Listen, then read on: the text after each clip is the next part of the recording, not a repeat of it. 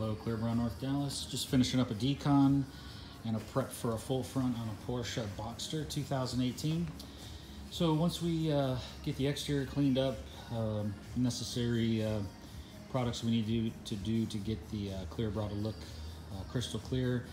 It's not done once it comes inside and removing easy uh, components such as the Porsche emblem. And this is on most cars across the board, but this is what's left underneath. So if your installers aren't removing that, I would recommend it.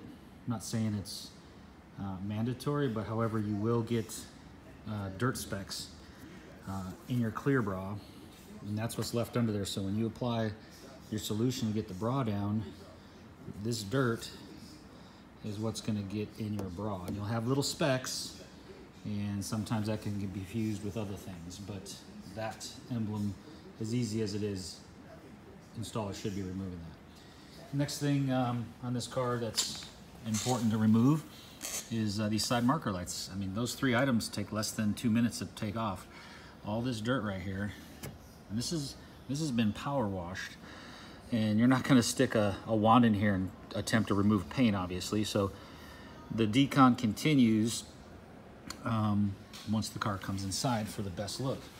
That's both sides. Obviously, that plate will come off. Uh, headlights don't come out anymore. So we have another method for that uh, that I won't share. Sorry. Um, nevertheless, uh, the other side too, we'll get that cleaned up. And then we wrap inside there and we wrap from the top. And there it is. Uh, I'll remove this gas cap here in a second so that we can wrap the gas cap and wrap inside the door.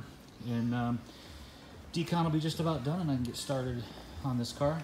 Takes a little bit to do, but their front end will be uh, protected. So there you go, just a little bit of our uh, prep procedures here at Clear Bra, North Dallas on all our cars, uh, regardless of what they are. Thank you.